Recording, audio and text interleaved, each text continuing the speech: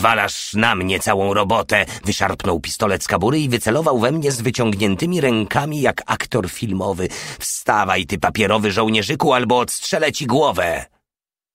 W tym momencie nienawidziłem go, tej nadętej kupy gówna, tak, że aż boli.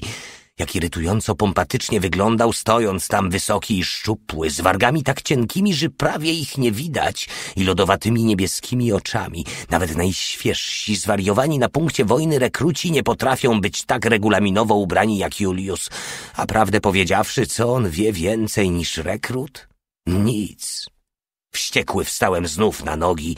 Mordercze myśli wirowały mi w głowie. Wiem, że Hajde jest dość zwariowany, by naprawdę mnie zastrzelić, jeśli dosyć szybko nie wstanę, a najgorsze, że ujdzie mu to płazem. Majbachy wyją na najwyższych obrotach i drut naciągnął się mocno jak struna skrzypcowa. Po kilku próbach pnie potoczyły się. Odskoczyliśmy jak szaleni, by nas nie zmiażdżyły. Rosyjski karabin maszynowy zamiatał drogę krótkimi seriami. Pociski z wyciem rykoszetują od stalowych boków czołgu. Brzmi to tak, jakby grupa doboszów nagle dostała amoku bębniąc na swych instrumentach. Prawie ukończyliśmy usuwanie blokady drogi i mieliśmy nadzieję na powrót do bezpieczeństwa wewnątrz czołgu, gdy Hajde wrzasnął i jednym długim skokiem znalazł się w rowie. Ślizgał się jak spychacz przez kaszę lodową i płynącą pod nią wodę. Miny! darł się. Stałem zagapiony na drodze między dwoma ogromnymi pniami, nie rozumiejąc ani słowa. Zobaczyłem duże, szaro-czerwone pudło z napisem cyrylicą. Pionowo w górę sterczał drążek. Mina była uzbrojona i gotowa do wybuchu. Przez chwilę stałem kompletnie sparaliżowany. Nasz czołg toczył się do tyłu z pełną szybkością. Porta w oczywisty sposób też zauważył ten kawał maszynerii, czekający, by posiać śmierć i zniszczenie we wszystkie strony. Nagle znalazłem się samotny pośrodku plątaniny ogromnych pni drzewnych i wraków ciężarówek. Patrzyłem jak zahipnotyzowany na płaskie, szaro-czerwone narzędzie śmierci a potem znów wróciłem do życia. Miny! Wrzeszczałem. Miny! Jakby tamci tego nie wiedzieli. Gdy czołowy pojazd wpada na miny, wieści szybko biegną do tyłu. Rzuciłem się twarzą w dół do wielkiej, półzamarzniętej kałuży i ledwie zauważam wodę wlewającą mi się do wojłokowych butów. Wkrótce zmieni się w lód, a moje stopy zaczną palić jak ogień. Dopomóż mi, Boże, modliłem się, pomóż mi, nie pozwól, żebym tu zginął. Zapanowała całkowita cisza. Nawet ciężkie maksimy przestały strzelać. Wydawało się, że cały świat zamarł. Wojna wstrzymała oddech, czekając aż mina wybuchnie. Trwało to całą wieczność i nadal nic się nie stało. Mina powinna była wybuchnąć dawno temu. Zazwyczaj trwa to pięć sekund. Ja doliczyłem już trzydziestu pięciu. Powoli otworzył się właz wieżyczki i ukazała się głowa starego. Ruszcie dupy, wy zmęczeni wojownicy. Pozbądźcie się tej miny. Musiało ci paść na mózg, odwrzasnął wściekle Hajde. Chyba widzisz, że to draństwo ma zapalnik z opóźnionym zapłonem. Zamknij się i wykonaj mój rozkaz, krzyczał niecierpliwie stary. Usuń to coś z naszej drogi i mówię wyraźnie. Zaraz. Nie obchodzi mnie, jeśli ma nawet dziesięć zapalników z opóźnionym zapłonem. Chcę, by znikło z naszej drogi. Czy myślisz, że oni zaprzestaną wojny, ponieważ wasza ferajna potknęła się o minę? Porta ostrożnie wyglądał przez szparę obserwacyjną kierowcy. W co wy się bawicie? Czy nie chcecie, aby wasze bohaterskie nazwiska pojawiły się na wielkim, porowatym kamieniu przed koszarami w Paderborn? Pozwólcie, że wam powiem, iż to wielki zaszczyt, wielka narodowa nagroda. Podniosłem głowę i rzuciłem okiem na dziwny, groźny przedmiot. Drążek stał prosto do góry, jak ostrzegawczo uniesiony palec. Chwyciłem w kieszeni szczypce z izolowanymi rączkami i szykowałem się, by podpełznąć do miny i rozbroić ją. To właśnie w takich chwilach czuję się, że nigdy nie powinno było się brać udziału w owym kursie rozbrajania bomb. W następnym momencie wszystko znikło w ryczącym wytrysku płomieni. Kawałki pni wirowały w powietrzu i wszędzie spadały deszczem. Przez kilka minut byłem całkowicie głuchy i czułem się, jakby moje wnętrzności ścisnęła mi olbrzymia ręka. Dwie minuty później nie pozostałby ze mnie nawet strzęp, ale zapora drogowa znikła. Wskoczyliśmy do czołgu, gdy z hurkotem przejeżdżał obok nas. Ładną robotę tam zrobiliście, pochwalił nas stary z uśmiechem aprobaty. Przyspiesz porta, dodaj gazu. Przed nami jeszcze długa droga. Tak, jeśli mamy dojechać do Chin, to jeszcze kawałek drogi, zachichotał radośnie Porta. Chiny? Mruknął mały, porządkując pociski w szafie amunicyjnej. Czy to nie miejsce, gdzie jedzą patykami i tuczą się ryżem? Nie potrafię pomyśleć o czymś lepszym niż gotowany ryż z malutkimi śledzikami. Mogę ci dać adres dobrej jadłodajni w Pekinie? Uśmiechnął się Porta, dodając gazu. Dywizja pancerna nieubłaganie parła przed siebie, wbijając się głęboko w Ukrainę. Wielu padło, jeszcze więcej było okaleczonych. Krajobraz był ponury. Nadciągał szary chłód rosyjskiej zimy. Czołgi, grzechocząc i rycząc, przejeżdżały przez zakopcone wioski, wyorywując drogę obok potężnych stosów węgla. Rośliny, trawa i wszystko, co zielone, znikło – nie pozostało nawet śladu po tak wychwalanych polach słoneczników. Dzikie szaleństwo wojny pożarło wszystko na swej drodze. Wszystko żernie. Kompania zatrzymała się na godzinę przed średniej wielkości miasteczkiem prowincjonalnym. Nigdy wcześniej nie słyszeliśmy jego nazwy. Rosyjska dywizja pancerna zajęła miasto i zmieniła je w uszykowaną wieża pozycję obronną. Wtedy nasze sztukasy sfrunęły z szarych śniegowych chmur z nieustannym wyciem syren. W powietrzu zawirowały ciężkie bomby. Jedna chmara nurkowców podążała za drugą. Miasto znikło z powierzchni ziemi. Ausradirt, jak o tym piszą w propagandowych programach. Po wszystkim czołgi przejechały po tym, co z niego zostało, zabijając wszystko, co jeszcze było przy życiu i miażdżąc martwych gąsienicami na papkę. Gdy dotarliśmy do następnego miasta, sztukasy już je odwiedziły i odpowiednio przygotowały do zajęcia – Kurz ze sproszkowanych cegieł i tynków wisiał w powietrzu jak czerwono-szara chmura. Konie artyleryjskie i kozackie leżały w zrujnowanych ulicach ze sztywno wyciągniętymi nogami i rozdętymi ciałami. Armaty leżące na bokach, wraki ciężarówek i góry zmieszanego wyposażenia zalegały wśród stosów ciał. Pod ścianami leżeli albo zwisali z szeroko otwartych okien martwi i ranni rosyjscy żołnierze. Obojętnie patrzyliśmy na krwawą scenerię. Taki widok stał się czymś codziennym. Na początku żygaliśmy i czuliśmy, jak nas zsie w żołądku. Obecnie już od dawna nikt z nas nie miał takich dolegliwości. Taki jest sposób na zdobywanie miast, wołał entuzjastycznie Julius Haide. Z triumfalną miną wychylał się przez przedni włas i z pogardliwym uśmiechem spoglądał na rosyjskiego żołnierza, który siedział oparty o ścianę, wpatrzony pustym wzrokiem w swe zmiażdżone nogi. Nosisz niewłaściwy mundur, stwierdził Porta. Mówisz jak te nadęte dupki w sraczkowato-brązowych uniformach i pasach z żółtej skóry przytrzymujących im flaki we właściwym miejscu. Jesteś głównym wszystkich główie, no to czym jesteś, Julius? Oślepiła cię twoja obłąkana wiara w Führera. Doprawdy uważam, że będziesz zadowolony, jeśli pewnego dnia jeden z tych straczkowato-brązowych skurwieli zastuka do drzwi twojej matki i wrzaśnie Heil Hitler, Frau Heide, pani syn, unteroficer Julius Heide, padł za Führera i Wielkie Niemcy. Łączymy się z panią w pani dumnym smutku, Frau Heide. Führer pani dziękuję. Stary, jesteś moim świadkiem, wybuchł Heide z wściekłością. To jest obelga, ja tego nie wytrzymam. No to sobie puść, odpowiedział obojętnie stary. Jest mnóstwo rzeczy, których ja nie mogę wytrzymać. Jazda, pancer marsz i trzymać także gęby na kłódkę.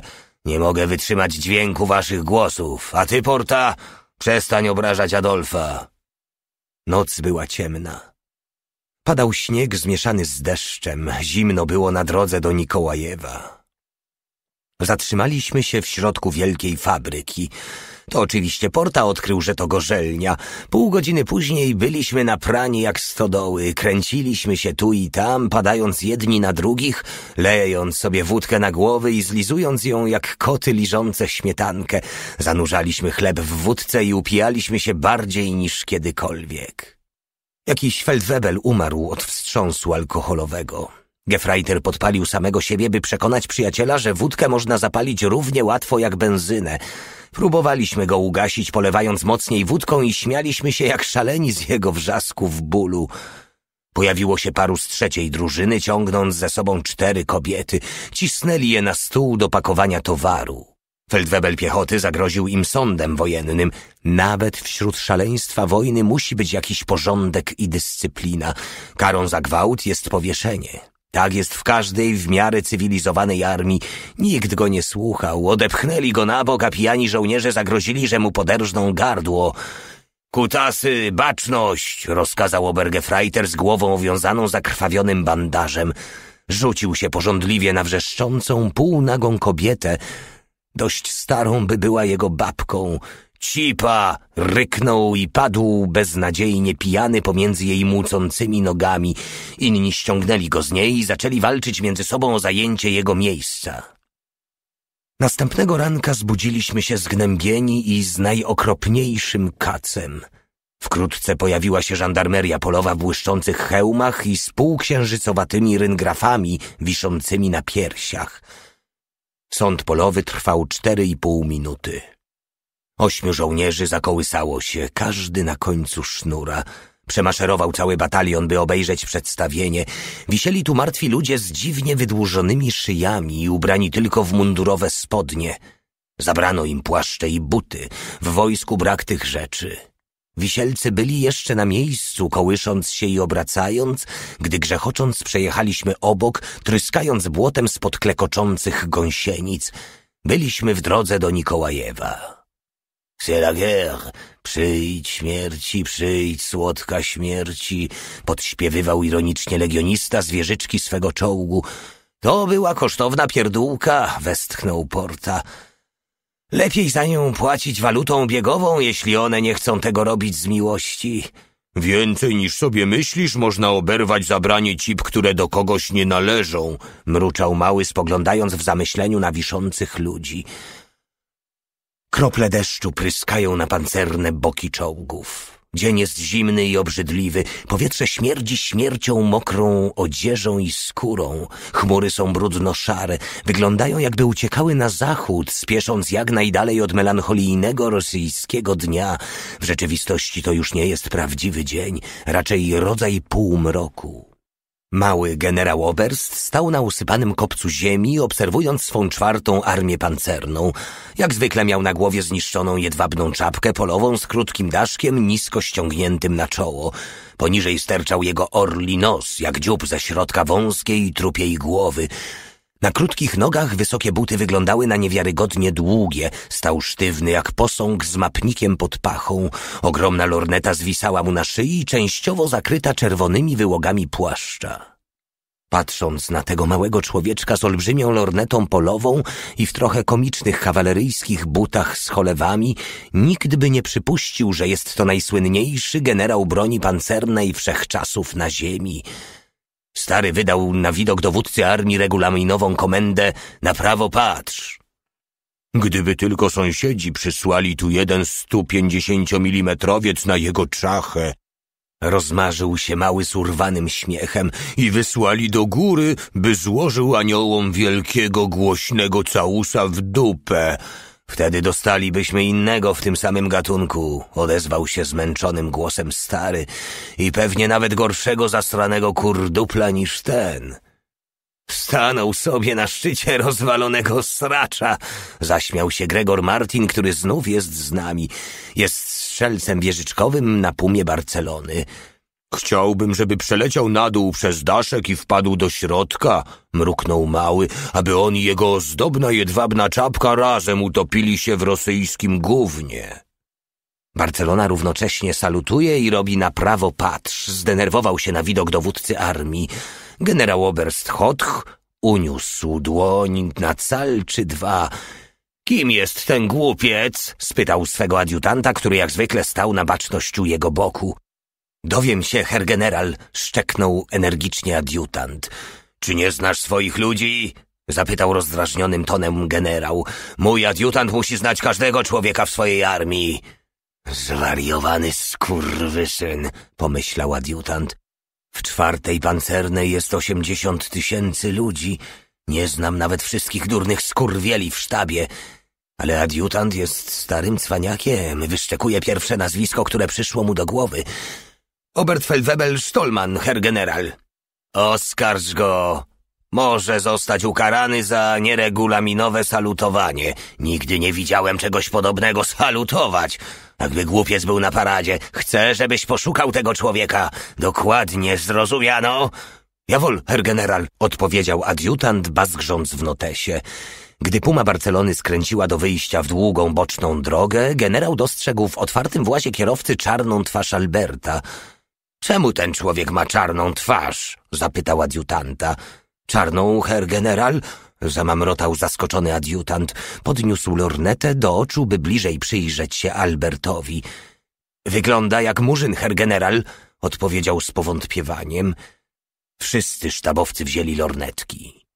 Przez chwilę czwarta pancerna była zapomniana i całe zainteresowanie skupiło się na Albercie, siedzącym na miejscu kierowcy w samochodzie zwiadowczym. Murzyn? warknął z irytacją generał. Co za nonsens! Niemcy nie miały kolonii przez ostatnie dwadzieścia lat. Dwadzieścia pięć, herr general, poprawił go szef sztabu, a ostatnie oddziały kolonialne zostały wycofane ze służby całe lata temu. Złóż oskarżenie przeciw temu człowiekowi za poczernienie sobie twarzy bez rozkazu. Nakazał gwałtownie generał. Nie chcę, by moja armia zmieniła się w bandę klaunów cyrkowych. Adiutant notuje gorączkowo. Kierowca w Pumie 524 ma zostać ukarany za poczernienie sobie twarzy. Dodał z własnej inicjatywy i zaśmianie się. W ciągu dnia przepychaliśmy się przez rozciągnięte wsie stojące po obu stronach drogi. Ze wszystkich okien zwisały białe prześcieradła na znak kapitulacji. Mieszkańcy stali przyciśnięci do ścian swoich chałup, bez uśmiechu, z lękiem o przyszłość malującym się na twarzach. Późnym popołudniem zatrzymaliśmy się. Uzupełniliśmy paliwo, pobraliśmy amunicję, a każdy z nas otrzymał tabletki benzedryny. Nie możemy tracić czasu na sen. Porta i Mały już od dawna byli w domach, plądrując pudła i szafy. W rzeczywistości nie wiedzieli, czego szukają, ale po prostu węszyli wokół jak tropiące psy. Z zabawnych flakonów oni piją w tym kraju, mówił Mały, podnosząc do góry i oglądając w zadumie duży różowy irygator. Nie da się opróżnić tego cholerstwa zbyt często, nim ci cholerny mózg wypłynie przez uszy. Ale do czego jest ta jego rura? Każdy to potrafi zauważyć, odpowiedział Porta. Iwan to praktyczny gościu. Pijąc leży na plecach, aby się nie potłuc, gdy upadnie. My, Niemcy, możemy tu w Rosji wiele się nauczyć. Ja se tego popróbuję, stwierdził entuzjastycznie mały, wieszając irygator u pasa jak drugą torbę na maskę gazową. Pomyśl se, leżeć na cholernych plecach i ciągnąć największego łyka, o jakim świat kiedy słyszał. Może taki gościu powinien stać się ruskim i zapomnieć o starych Niemczech. Święta dziewico, matko Marii, krzyknął zdumiony Porta. Tu leży martwa kobieta i ma na głowie myśliwski kapelusz z piórkiem. Może podróżowała, gdy umarła? I tak było, tylko wycieczka okazała się dłuższa niż ona się spodziewała. To śmierdzi morderstwem, mruknął dokładniej przyjrzawszy się ciału. Dostała we flaki, tak to było. To nie mogła być egzekucja, bo wtedy dostałaby pigułkę w kark.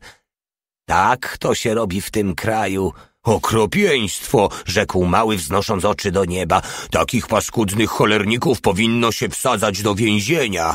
Tu jest jej torebka. Ciągnął porta, podniósł damską torebkę ze skóry renifera, wsadził nos do środka i zaczął szperać. Natychmiast stąd wyjść! To jest rozkaz! Wrzasnął Hajde swym najbardziej podoficerskim tonem. Stał we drzwiach z rękami na biodrach i kiwał się tam i z powrotem na palcach stóp.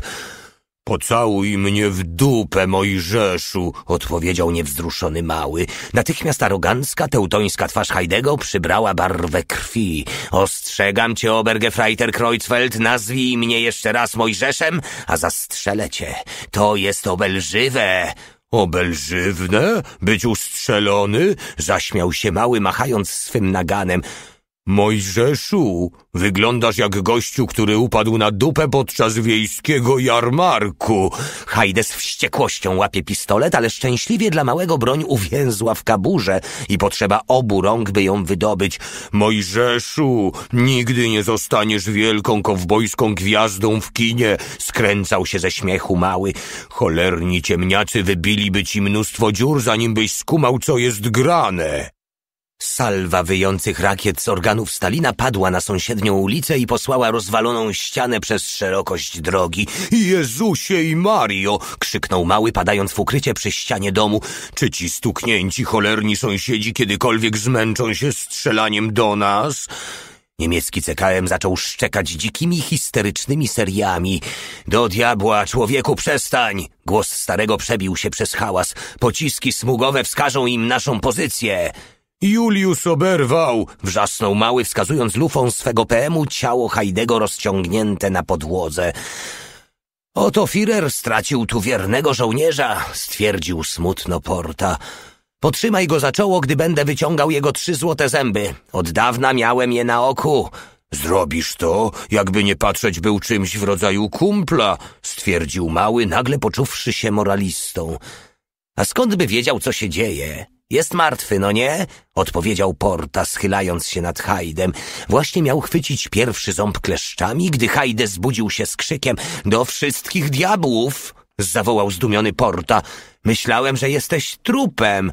Rabuś zwłok, darł się Hajde, patrząc z otwartym obrzydzeniem na zardzewiałe kleszcze dentystyczne porty. Rabuś zwłok? Powtórzył obojętnie Porta. Niemożliwe. Nie jesteś jeszcze trupem, nieprawdaż? Zaraz cię oskarżę, warknął wściekle Hajde. Chwycił się za kark, gdzie odłamek pocisku wyorał głęboką bruzdę. Na dwór! krzyknął stary. Oczyścić ten teren i to szybko. Jest pełen kandydatów na bohaterów pragnących umrzeć za wielkiego Stalina. Już lecę! zawołał Porta. Pobiegł wzdłuż domów, trzymając LKM z rozstawionymi nóżkami. Niezdarny rosyjski granat ręczny przeleciał, dymiąc i spadł u stóp małego. Zdecydowanym kopnięciem, wartym internacjonała piłkarskiego, odesłał go z powrotem. Nie na darmo jest najlepszym strzelcem goli w pułku. Porta posłał parę krótkich serii w szeroko otwarte okna i skoczył w ukrycie za wypalony transporter. Albo one gówna są w piwnicach! Darł się mały, padając na całą długość i wzbijając fontannę błota i na pół stopniałego śniegu. Albo oni są na górze. Gdzie? Wrzasnął Porta, przeskakując długimi susami na drugą stronę ulicy. Z szybkością błyskawicy padł płasko do rynsztoka, słysząc po drodze przeraźliwe muczenie krowy. Cały rząd kamieni bruku wyleciał w powietrze. Padnij, niech was diabli! krzyknął do drużyny stary, dając znaki rękami. Albert tkwił zależącym na boku wózkiem ręcznym i strzelał z KM-u wzór 34, jakby miał zamiar pobić światowy rekord zużycia największej ilości amunicji w najkrótszym czasie. Barcelona dysząc upadł obok niego. Do czego do diabła strzelasz, ty czarna małpo? Będziemy musieli wyliczyć się z tej amunicji. Srać na to, człowieku! Wycharczał Albert z twarzą poszarzałą od strachu. Żaden pierdolony komuchowaty skurwysyn nie będzie podstawiał mi nogi, żebym padł na swoją pieprzoną dupę. Przestań, ty zwariowany pedale! Wrzasnął Barcelona, dając LKM-owi Alberta takiego kopa, że karabin wyleciał mu z rąk. Trzęsąc głową na boki, Albert oparł się o ścianę domu i tęsknym spojrzeniem wpatrywał się w swój LKM, który sycząc leżał w zaspie brudnego śniegu. Po co tu siedzicie z grymaśnymi minami? spytał Porta, wychodząc z domu za dwoma jeńcami trzymającymi ręce wyciągnięte nad głowy. Wyglądacie jak Frankenstein grający rolę mamusi. Teraz już nie pozwala mi się więcej strzelać, żalił się Albert. To najbardziej zastrana wojna, jaka kiedykolwiek była. Wiesz to, człowieku? Oczywiście możesz strzelać, stwierdził Porta. Wal w nich, synku. Za to ci armia płaci. Z szerokim uśmiechem na piegowatej twarzy zniknął za rogiem ze swymi dwoma jeńcami. Sprzeda ich chciwemu medali oddziałowi zbierającemu jeńców. Wsiadać, rozkazał stary. Pancer, marsz. Führer wygrał wojnę. Oświadczył dumnie Hajde, gdy toczyliśmy się wzdłuż długich kolumn rosyjskich żołnierzy, stojących z podniesionymi rękami, wyglądali na zupełnie zagubionych. Będzie teraz miejsce tylko dla dwóch rodzajów ludzi, mruknął gorzko Porta. Na te pawie, które ciągle rozkazują i wszystkich pozostałych cholernych idiotów, co stoją na baczność w szynelach, trzymając swe kości w kupie i wrzeszczących Heil Hitler. Po krótkiej, krwawej bitwie pchaliśmy się dalej przez Połtawską. Na skraju drogi leżały trupy ubrane w szare więzienne mundury. Wszystkie miały z tyłu głowy małe otworki wlotowe po pociskach. Kości policzkowe ostro wystawały przez cienką jak pergamin skórę na ich twarzach, a zęby mieli wyszczerzone jak okropne trupie czaszki. Zlikwidowani, orzekł stary. Nad brzegiem włazu splunął długim brązowym strumieniem soku tytoniowego. Są tak paskudni jak nasza parszywa banda. To nie było dawno, stwierdził Barcelona, wychylając się z wieżyczki wozu zwiadowczego. Krew jest jeszcze świeża i kapie. Ale za co oni ich zastrzelili? spytał Gregor. I właśnie tu na drodze, gdzie my się pchamy. Nie mogli ich trzymać, orzekł wszystko wiedzący Porta. Powodowali bałagan i byli powolniejsi niż reszta. Do jasnej cholery nie mogą tego robić, powiedział Gregor, pochylając się nad ciałem kobiety. Do kurwy nędzy nie mogą. Zobaczysz jeszcze gorsze rzeczy, odpowiedział lakonicznie Porta. Poczekaj, aż wahadło wychyli się w drugą stronę, a my weźmiemy nogi za pas przed sąsiadami kąsającymi nas w dupy. Wtedy zobaczysz, co my potrafimy robić. Stary w milczeniu zapalił fajkę ze srebrnym wieczkiem i w głębi duszy marzył, by mógł położyć rękę na człowieku, który dokonał tej masakry. Wyglądało, jakby szeregi martwych nigdy się nie kończyły, ale nie dłużej niż po godzinie wir wojny wyparł ten epizod z naszej pamięci, jak tyle innych spraw. Za każdym rogiem czyha na nas śmierć. Nie możemy wybrać śmierci, bo musimy żyć i dalej robić wszystko tak dobrze, jak potrafimy. Wojna jest zarazą i lepiej o niej nie myśleć zbyt wiele i zapominać o wrażeniach, jakie robią na nas jej symptomy. Gdybyśmy tego nie robili wkrótce, popadlibyśmy w szaleństwo. Drużyna zajęła pozycję wzdłuż małej, żółtej, zimnej rzeczki, która biegła do dalekiego morza. Porta postawił swój CKM za stosem worków kartofli. Kartofle równie dobrze jak piasek zatrzymują pociski, tak twierdził. Barcelona chciała, by wozy były gotowe do jazdy i byśmy mogli ruszyć w każdej chwili, jeśli będzie trzeba. Ale spotkał się z dzikimi protestami, gdy zażądał, by kierowcy pozostali na swoich miejscach. Nie będzie dużo czasu, próbował tłumaczyć rozzłoszczonym kierowcom, którzy bali się zostawać samotnie w swych pojazdach. Chcę, aby te cholerne wagony były gotowe ruszyć się, gdy jest jeszcze czas, rozkazał wściekły. Mam w dupie ciebie i twój czas, krzyczał zupełnie bez szacunku Porta. Sam siedź w swej puszce sardynek, jeśli chcesz. Ja tu zostaję z moją pukawką. Jeśli sąsiedzi przyjdą i zapukają do drzwi, będzie dość czasu, by ruszyć się. Chcę należeć do tych, co przeżyją tę wojnę światową. Nie mam zamiaru usmażyć się we własnym tłuszczu, jeśli jakiś skurwielowaty komuch czy ktoś inny wpadnie na pomysł, by mi przylepić do tyłka minę magnetyczną. W blasku ogromnego ognia, szalejącego w jakimś spichrzu, mały wypełzł z otwartego okna, ciągnąc za sobą wielką skrzynię. Maksim wysyła ku niemu sznurek pocisków smugowych. Skończcie z tym cholernym marnowaniem naboi! Wrzasnął, machając groźnie pięścią w stronę rosyjskich pozycji. Macie ziemię tam, gdzie powinien być mózg? A może to jest gówno? Rozwalę cię na kawałki, jeśli nie zostawisz tej skrzyni! Zawołał rozwścieczony stary. Wracaj do swej parszywej załogi. Jeszcze raz zobaczę cię, jak plądrujesz i wyślę pod sąd. W górę wzniosła się flara. Powoli opadająca kometa z ciągnącym się za nią barwnym ogonem. W oślepiającym białym świetle wszyscy stali bez słowa. Wokół nas słychać różne dźwięki. Ciężkie, stąpające na palcach buty, nerwowe dłonie odbezpieczające broń, dzwoniące noże bojowe, naboje wpychane do komór zamkowych, mamroczące głosy śmierci. Nie widzimy nic, słyszymy tylko hałasy nadlatujące z ciemności. Nie jesteśmy całkiem pewni, czy są rzeczywiste, czy tylko łudzi budzi nas nasza nerwowa wyobraźnia. Porta uniósł głowę i wąchał powietrze jak pełen napięcia pies myśliwski. Powoli, niewiarygodnie powoli przeklęta flara opadła na ziemię. Bez najlżejszego hałasu obróciłem lekki karabin maszynowy. Błogosławiona święta Agnieszko z Bielefeldu, szeptał Porta wyraźnie podekscytowany. Jeśli to, co czuję nosem, to prawda, będę palił przez resztę życia świecę dla niemieckiego Boga w synagodze mego serca. Nad naszymi głowami rozległy się ostre trzaski wybuchów, więc przyciskamy się do błota pod nami. Jedna z największych istniejących flar rozkwitła na ciemnym, nocnym niebie. Życie nie jest niczym innym jak szeroko otwartą, śmierdzącą czarną dziurą w dupie, zaklął Albert z głębokiej piwnicy, szczękając zębami. Dziś wieczorem moja dziewczyna będzie tańczyć w Cigojner Keller, a wszyscy będą się gapić prosto na jej wygoloną na gładko czarną cipę za każdym razem, gdy machnie nogami a potem będzie się pierdolić z całym wszawym garnizonem. Oto z czym człowiek musi się pogodzić. Ona też jest czarna? Zainteresował się Gregor, spoglądając uważnie nad lufą KM-u. Jest pewien, że kilka rosyjskich kompanii skrada się w ciemności dookoła nas, gotowych do szturmowania naszej pozycji i podrzynania nam gardeł. W porównaniu z nią jestem białasem, mamrotał Albert, przecierając twarz dłonią.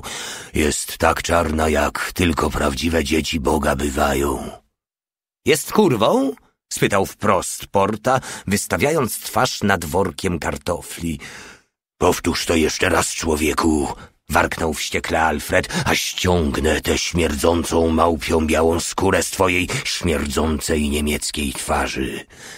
Jest artystką, człowieku. Tańczy kankana w Zigeuner Keller, a na plakatach w całym mieście jest jej nazwisko.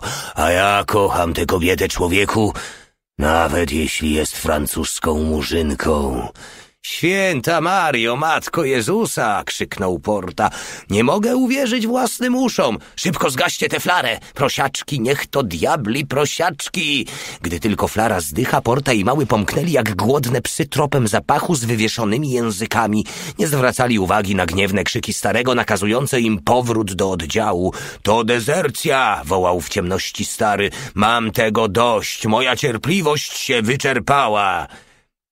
Oni wywąchali żywność, mezami, chichotał wesoło legionista. Odpalił długiego papierosa od niedopałka poprzedniego. Nawet cała Armia Czerwona nie będzie teraz w stanie ich zatrzymać. Mały potknął się tylko raz podczas swego szalonego biegu naprzód, ale stoczył się po pochyłości i wylądował na przechylonym ciągniku. Wkrótce potem wpadł na Rosjanina, odpowiadającego za krzakiem na wezwanie natury. Rosjanin ledwie do połowy wydobył pistolet z kabury, gdy mały wbił mu nóż w pierś. Dobrzy ludzie umierają młodo, mruczał wielkolud, wbijając nóż do końca. Byłem taki samotny, ty byłaś tak czarująca, śpiewał wesoło porta chrapliwym głosem Louisa Armstronga, schylając się nad miotem sześciu kwiczących prosiaczków. Jeden z nich ocierał się miłośnie o but małego. Ten położył się na stęchłej słomie i zaczął się bawić z prosiaczkami. Zostaw to i to zaraz, ostrzegł Porta, albo zacznie się ta sama zabawa, co z tą wielką maciorą, którą żeśmy polubili, tą, która umarła ze starości. Czemu śpiewasz to obce coś? spytał mały marszcząc brwi. Nie wiem, odpowiedział Porta. Myślę, że ładnie brzmi. Kocham Louisa Armstronga. Nikt tak nie umie śpiewać jak te czarnuchy. Adolf jego też wpisał na czarną listę, zauważył smutno mały. Miałem jego dobrą płytę. Pewnego dnia wybili ze mnie całe gówno na Stadthaus Bricke 8 za jej słuchanie. Boziu, jakież mi sprawili smary. Potem kazali mi zjeść cholerną płytę po prostu po to, abym skumał, że tego rodzaju gówno untermenszów to nie to, czego słuchamy my Niemcy. Adolf to kompletny wariat, stwierdził Porta, ale pewnego dnia go dostaniemy cierpliwości, synu. Po burzy zawsze pokazuje się słońce. Nie mogę przestać o tym myśleć, powiedział mały w zamyśleniu, drapiąc któregoś prosiaka za uchem. Uważam, że powinniśmy mu odstrzelić tę austriacką czachę, ale najpierw złamać mu lewą nogę. potem prawą, potem obie ręce od stawów palców w górę, aby wiedział, że jesteśmy poważni. A między tymi zabiegami walić go po jajach, jak jakieś posiada – a potem zamykamy sprawę, polewając go benzyną i podpalając zapałką, by był jak ognisko. To jest dokładnie to, co jak uważam powinniśmy mu zrobić, żeby wyrównać wszystkie rachunki.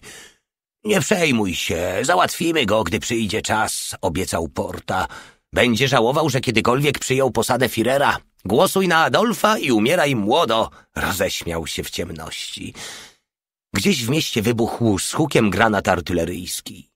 Kilka karabinów maszynowych zatrzeszczało złośliwie, ale wkrótce zamilkły. Klapnięcie pocisku moździerzowego zabrzmiało jak finał koncertu. Stary wpadł na nich w pełnym rynsztunku bojowym. Był pokryty błotem od hełmu po końce butów. Schlaliście się w trupa? Co wy u diabła kombinujecie? Popatrz tylko, Uśmiechnął się miło Porta. Zajęliśmy komuchom trochę świniaków. Ojcze niebieski, jęknął rozpaczliwie stary.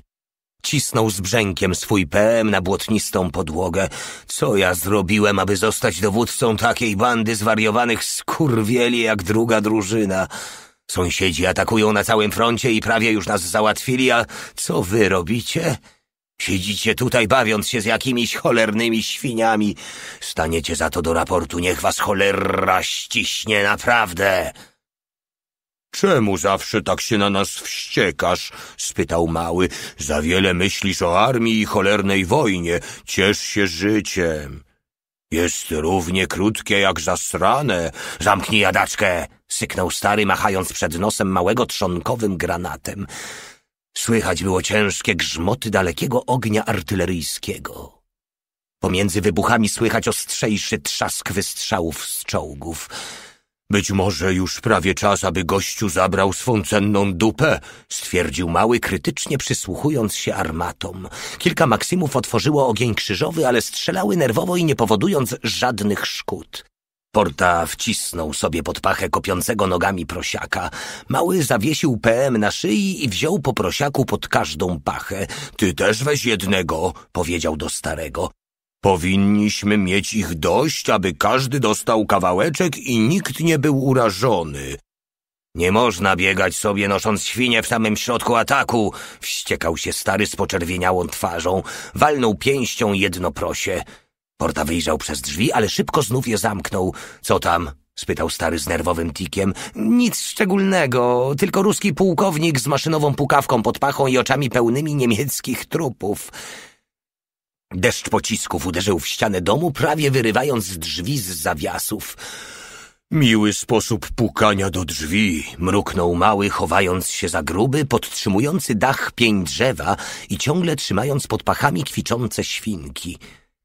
Pluskający dźwięk pocisków moździerzowych trwał nieustannie. Cały teren bombardowała ziemia, kamienie i odłamki wybuchających pocisków. Wynośmy się stąd, powiedział stary. Sąsiad tu będzie, nim się połapiemy. Jezusie i Mario, krzyknął mały. Te zwariowane sąsiady strzelają czymś ciężkim. Można by pomyśleć, że chcą pozabijać nas, biednych facetów, albo coś w tym rodzaju. Jeden prosiak kwiczał coraz głośniej. Odłamek pocisku rozorał mu bok, jego krew oblała małego. Zabij tę cholerną świnię, wydarł się stary. Będzie ją słychać w całej Rosji. Mały szybko poderżnął śwince gardło. Kwiczenie umilkło z paru końcowymi pomrukami. Umierać tak młodo, oświadczył ze współczuciem. Poranek był ciężki, zimny jak lód, a wokół leżała mgła jak gruby koc. Porta zatrzymał się i ukrył za jakimiś krzakami. Z płóciennej kabury wyciągnął rakietnicę. Nic nie będzie z tego gówna, ostrzegł go nerwowo stary. Tak czy tak, niczego przy nim nie zobaczymy. To wiem, odpowiedział Porta, wyciągając rękę pod kątem w górę z rakietnicą zaciśniętą w dłoni. To po prostu zawiadomi Iwana, że jesteśmy obudzeni i gotowi. Wtedy, gdy głupie skurwiele będą siedziały zastrachane, że w każdej chwili mogą mieć odstrzelone dupy, my spokojnie wymkniemy się z przyjęcia. Flara wisiała przez kilka krótkich minut nad terenem, a potem znów było ciemno i niczego w ogóle nie mogliśmy zobaczyć. Biegiem tędy wzdłuż starej pozycji, rozkazał mi stary. Dysząc z wysiłku biegłem wąskim okopem w błocie po kostki. Na zakręcie zatrzymałem się na chwilę. Potrzebuję papierosa.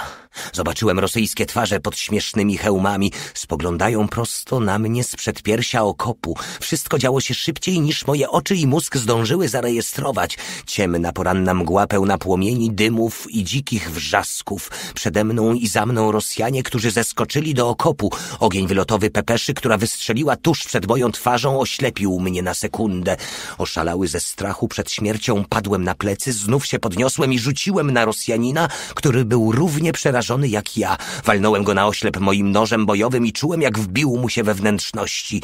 We wzajemnym uścisku padliśmy na błotniste dno okopu. Wyrwałem nóż z jego ciała i wbiłem go znów i znów. Gorąca krew trysnęła mi na twarz. Wtedy znów wstałem i pobiegłem w panice, nie wiedząc, w którą stronę niosą mnie nogi. Rosjanie za moimi plecami rzucali granaty ręczne. Ich wybuchy rozświetlały noc. Porta i Mały biegli do mnie. Rzuciłem się na ziemię, by uniknąć ich grzechoczących pistoletów maszynowych. Stary był za nimi, a tuż za starym pojawili się inni. Zaczęła się dzika, krwawa walka wręcz. Wyrwałem pepesze z rąk martwego rosyjskiego lejtnanta i zacząłem na oślep strzelać do wszystkiego, co było przede mną. Byliśmy spragnieni krwi i zemsty. Chcieliśmy zabijać szczęśliwi, że wymierzyliśmy znienawidzonemu wrogowi cios w plecy. Rosyjski kapral stał przede mną z gołą głową i rękami wzniesionymi nad głową. Opróżniłem połowę magazynku w jego pierś i zmiażdżyłem mu twarz kolbą mej broni. Nagle wszystko ucichło. Walka skończyła się tak szybko, jak zaczęła. Jakaś drobna potyczka. Tak będzie brzmiał raport. Porta miał w dłoni butelkę wódki. Zębami wyciągnął korek, wziął długiego, bulgoczącego łyka i beknął długo i rozgłośnie. Na jego chude policzki wróciła krew, a oczy zaczęły żywiej spoglądać. Otarł usta wierzchem dłoni, a potem schylił się i podniósł granat karabinowy. Odkręcił kapsel i wsadził sobie granat do kieszeni, gotów do użytku, jeśli natkniemy się na więcej niespodzianek. Z wycelowanymi PM-ami i palcami na spustach, Porta i ja wskoczyliśmy przez bramę domu, gotowi skosić wszystko, co się rusza. Wiemy, że ci, którzy pozostają w takich miastach, to zwariowani fanatycy, kompletnie szaleni, kompletnie niezważający na własne życie, póki będą mogli zabrać ze sobą paru nieprzyjacielskich żołnierzy. Cicho przemknęliśmy wzdłuż ścian domów, wysilając wzrok, by przebić kurz wiszący w powietrzu. Tłumiłem kaszel, obawiając się zdradzić naszą pozycję jakiemuś obłąkańcowi czekającemu z palcem na spuście. Pierwszy pokój był pusty, następny także. Cicho na palcach wspiąłem się wąskimi, kręconymi schodami. Miałem wrażenie, że serce zatrzymało mi się na kilka minut, gdy ciężka dłoń spadła mi na ramię. Na szczęście byłem tak przerażony, że zapominam o trzymanej w ręce broni. Doprawdy nie powinieneś srać w spodnie Adolfa? Szepnął uspokajająco mały. To tylko ja. Gdybym był Iwanem, już byś całował anioły w dupę.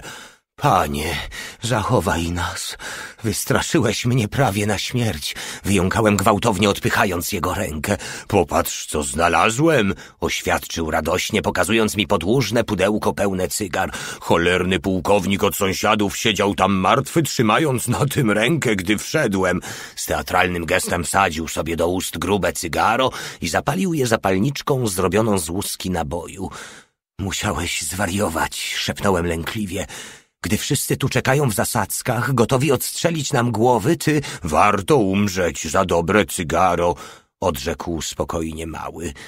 Uniósł swą prymitywną zapalniczkę wysoko nad głową, jak pochodnie i badawczo rozejrzał się wokół. Gdy szliśmy po schodach, trzeszczały zdradziecko. Zgniłe stare gówno! Złościł się mały, hałaśliwie kopiąc obluzowaną deskę. Porta czekał na nas na jednym z podestów z na wpół opróżnioną butelką wódki w dłoni. Pociągnął długi łyk, nim wręczył ją małemu, który zostawił dla mnie ledwie kropelkę. Jest tu kto? spytałem kaszląc nerwowo od palącego spirytusu. Skąd mam wiedzieć? mruknął Porta. Myślisz, że jestem cholernym jasnowidzem albo czymś takim może? Wkrótce się przekonamy, stwierdził mały, mocno pociągając parę razy cygaro i wystawiając głowę przez otwarte drzwi jak czerwonoskóry próbujący zajrzeć za róg. Hej, tutaj Iwan! ryczał głosem niosącym się echem po całym domu. Wyłaście wy, towarzysze! Mamy dla was coś miłego! Odbezpieczał LKM i machał lufą dokoła. Nie ma nawet obwisłego chuja! Zachichotał i wszedł do pokoju, dając długie, pewne siebie kroki. W środku walał się stos zniszczonych mebli. Odłamki porcelany i szkła chrupały pod naszymi podkutymi butami. Na środku podłogi leżała lalka z tych, które potrafią otwierać i zamykać oczy. Porta podniósł ją i starannie umieścił na tym, co pozostało ze staromodnego kredensu. Słodkawy, mdlący smród śmierci wypełniał cały dom. Na ulicy warczał wściekle lekki karabin maszynowy. Przyłączyły się dwa inne, głucho trzaskały pociski moździerzowe. Dźwięki zamilkły w oczekującej ciszy, w której śmierć czaiła się w każdym ukryciu. Do diabła boli mnie ręka, poskarżyłem się, próbując podwinąć rękaw. Gdzie? zapytał Porta. Popatrzmy na to. Boziu, ty krwawisz, stwierdził mały, szeroko otwierając oczy. Co ci ciachnęło? Musiało to być na dole, w tym parszywym okopie, gdy te mordercze świnie skoczyły na mnie z góry, odpowiedziałem. Porta założył mi opatrunek, najpierw przemywszy ranę odrobiną piwa ze stojącej na kredensie otwartej butelki. Całkiem niezłe cięcie tam ci dali, stwierdził ze współczuciem mały. Chcesz oficerskie cygaro, co? To pomaga. Potrząsam głową i zagryzam wargi z bólu, gdy porta wyskrobuje do czysta długą ranę od noża. Powoli chodzimy dalej po całym domu, trzymając pistolety maszynowe gotowe do strzału. Na strychu znaleźliśmy podwójne łóżko, na którym leżało martwe ciało. Było rozdęte i straszyło szeroko otwartymi, szklistymi oczami. Mały próbował ukłuć je badawczo bagnetem. — Ty zwariowałeś, czy coś w tym guście? Głowa pełna błota, złajał go Porta. Zrób w nim dziurę, a dostaniemy prosto w twarz trupi gaz. Nie będziemy w stanie utrzymać się na nogach. Pokapuj, czy nie ma jakichś złotych zębów, ale ostrożnie, do cholery nie podziuraw go. Mały otworzył trupowi usta z miną zawodowego dentysty. No ani śladu, stwierdził, potrząsając ze smutkiem głową. Proletariackie gówno ze stalowymi zębami. Te cholerne komuchy wiedzą, jak stawiać ludzi do szeregu. Szefowie mają w jadaczkach złoto, szara masa musi obywać się cholernym żelazem. I to oni nazywają równymi prawami? Nigdy nie przemaluje się na komucha. Możecie to wypisać na pieprzonych nagłówkach gazet. Większa część dachu spaliła się i widzieliśmy przezeń ciemne niebo. Wybuchła flara, rozkwitając białym kwiatem światła. Natychmiast zaczęły grzmieć ciężkie działa. Pojawił się sznur mrugających czerwonych kulek ognia. Jezusie i Mario! Wrzasnął mały, z tupotem zbiegając pospiesznie z wąskich, kręconych schodów. Sąsiedzi nadchodzą! Trzaski i wybuchy nasiliły się i na miasto spadł deszcz pocisków. Prawie przefrunąłem przez drzwi i całą długością rzuciłem się za coś, co jak sądziłem było ukryciem, ale okazało się resztkami dwóch Niemców. Żołądek wywrócił mi się i żygałem serdecznie. Trzepałem się po ubraniu w histerycznej próbie pozbycia się ludzkich szczątków. Uspokój się, mon ami, c'est la guerre. Cedził słowa mały legionista i jednym długim skokiem znalazł się koło mnie. To tylko jeszcze nieco ludzkich odpadków na gnojowisku wojny. Po krótkiej chwili ogień artyleryjski uspokoił się. Tylko moździerze kontynuowały ostrzał, obrzucając nas dokoła granatami. Kilka maksimów szczekało ze złością, śląc wzdłuż ulicy sznury pocisków smugowych – Skąd u diabła oni strzelają? Pytał zdumiony Gregor. Nigdzie nie widzę ich ogni wylotowych. Złośliwe pedały strzelają przez płótno, objaśnił wszystko wiedzący Porta. Trzech grenadierów pancernych biegło hałaśliwie, uginając się pod ciężarem ekwipunku polowego i dysząc padli na ziemię obok nas.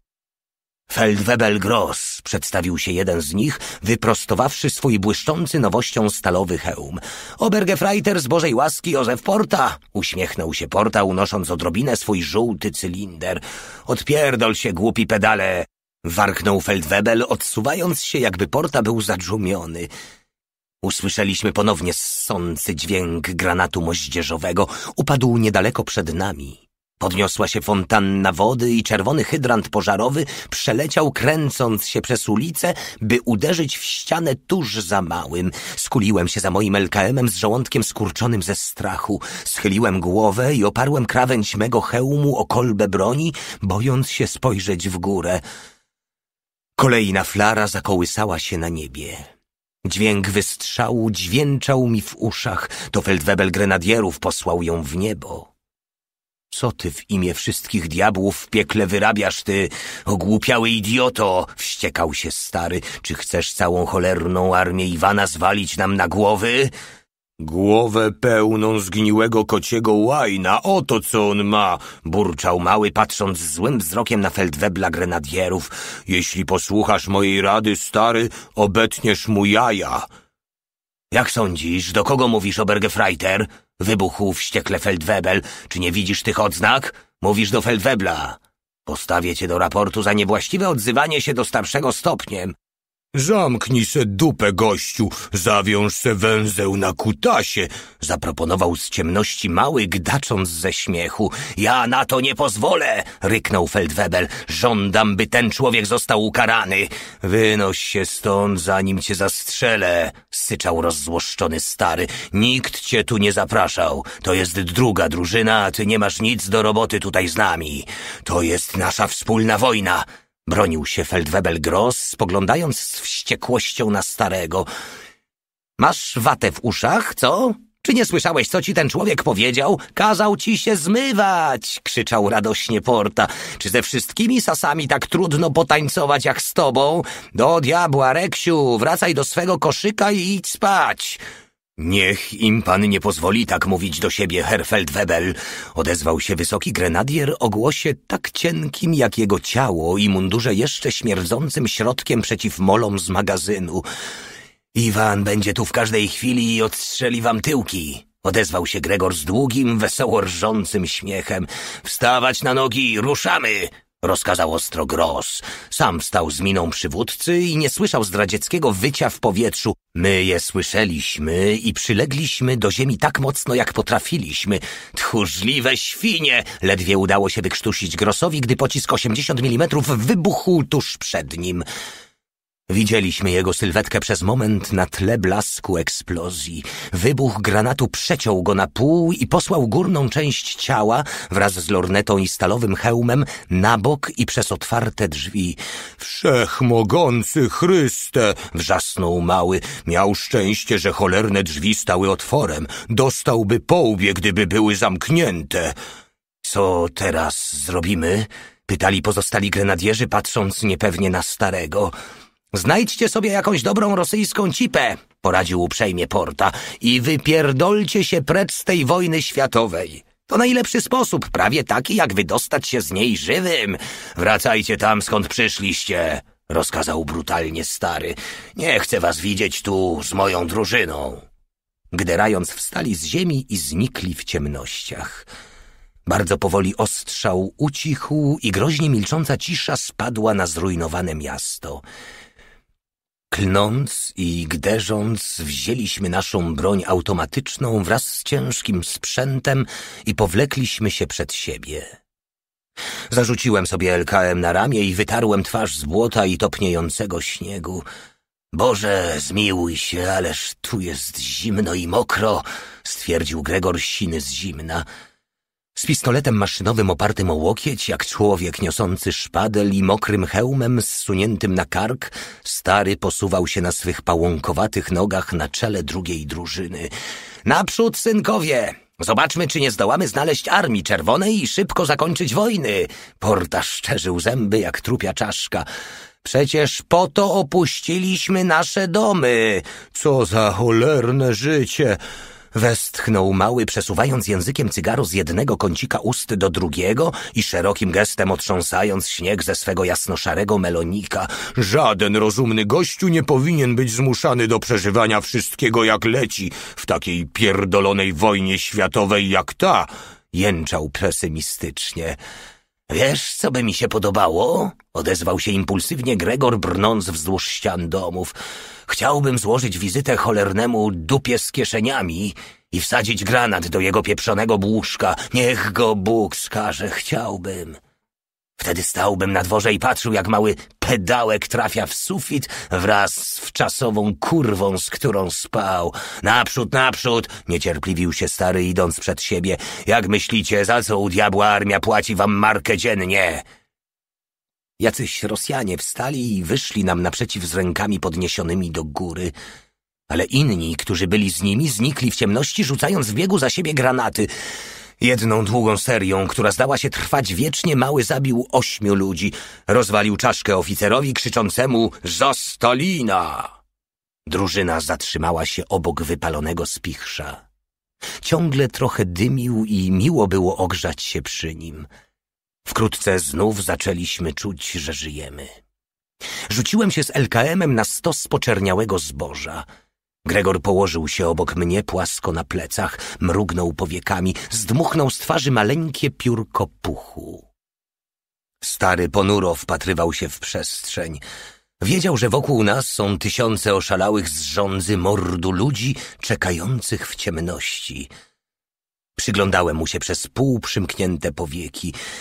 Tak długo jak mamy dowódcę drużyny w osobie starego, ciągle mamy maleńką szansę wydostania się z tego szaleństwa w miarę bez szkody. On nie chce, by którykolwiek z nas został bezsensownie zabity w jakimś idiotycznym wyskoku, wymyślonym przez obłąkańca daleko z tyłu za nami, szukającego tylko medali i kolejnego rzędu przypraw do sałaty na swej piersi. Pocisk 37 mm uderzył i odbił się rykoszetem wyjąc, ale nie wyrządził żadnych szkód.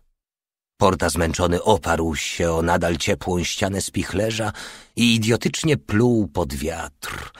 Błogosławiona święta Agnieszko, czy jest coś piękniejszego niż pieprzona wojna światowa, tracąca na minutę oddech i zmuszona zrobić sobie przerwę? Co byś powiedział na kawę z czymś odrobinę mocniejszym? Masz ziarnistą? spytał stary, zapalając fajkę ze srebrnym wieczkiem. Za kogo mnie bierzesz? zaśmiał się ochryple porta. Dzień, w którym nie miałbym dość ziarnistej na kubek kawy, byłby tym, w którym świat wyrwaliby mi spod nóg. Tak naprawdę to nie mamy czasu, odpowiedział stary, pykając fajkę. Ale do diabła z tym, zapasz ją tak czy tak. Nie jesteśmy cholernym moskiewskim ekspresem, jesteśmy drugą drużyną. Zręcznymi palcami Porta uruchomił swoją amerykańską kuchenkę benzynową. Ludzie, którzy pływali przez ocean lodowaty z tym miłym małym przedmiotem nigdy nie marzyli, że Obergefreiter z Bożej łaski Józef Porta będzie pewnego dnia robił na niej kawę. Uśmiechnął się z zadowoleniem. Ta przeklęta cisza, mamrotał stary, dmuchając do metalowego kubka przyczepionego do manierki. Nic lepszego jak mała czarna z odrobiną sznapsa w zimny poranek, stwierdził Porta, dolewając po trochu do wszystkich kubków. Albert Upił ze swego kubka wielki łyk, by zostawić więcej miejsca na wódkę. Nawet jeśli odsiedzę trzydzieści lat w tej wojnie, nigdy nie przyzwyczaję się do onych parszywych flar. Oświadczył cicho, składając dłonie w łódeczkę i dmuchając sobie ciepłym oddechem na policzki. Przypominają mi gromnice przy trumnie. Życie to nic innego jak jeden wielki sracz, człowieku, i wydmuchują je spod ciebie, nim się jeszcze połapiesz i powtarzają Bóg jest dobry. Wystarczy, by sobie powiązać flaki w supły. Przez całe moje czarne życie nie nauczyłem się więcej, co to znaczy być przerażony, zanim dostałem się do tej parszywej rzekomej wojny i do tego jestem zawsze przemoczony do kości. Gdybyż tylko dostać zapalenia płuc, przynajmniej miałoby się gorączkę i wszystko inne – ale dobry Bóg postanowił coś przeciwnego i facet musi ciągle pełzać po śmierdzącym obliczu ziemi i czekać, aż sąsiedzi odstrzelą mu jego czarną dupę. Pociągnął łyk kawy z wódką i z grobową miną rozejrzał się wokół. Czasami myślę, żeby tamci przybyli i zabili mnie. To miałbym wszystko z głowy. Gdy już o tym mowa, to życie nie jest warte, by je przeżyć. Tak czy inaczej, C'est la guerre, mon ami, westchnął legionista, z wiecznym kaporalem zwisającym mu w wargach. Nie jesteś niczym więcej jak śmieciem przeznaczonym na górę odpadków wojskowych. Tak jest, bo Allah tak postanowił. Porta śmiał się cicho i znów nalewał kawę z wódką do naszych kubków. Führer Hajdego z pewnością wysłał nas pod topór, obiecując wieczny pokój oraz wczasy pracownicze ze wszystkimi dodatkami. Czy powinniśmy rozstawić karabiny maszynowe? spytał Barcelona, przeciągając się na ciepłym zbożu. Nie, pieprzyć wszystko, odpowiedział niedbale stary. Niech raz wreszcie sąsiedzi przyjdą i poproszą nas, abyśmy do nich postrzelali. Gówno mnie to wszystko obchodzi.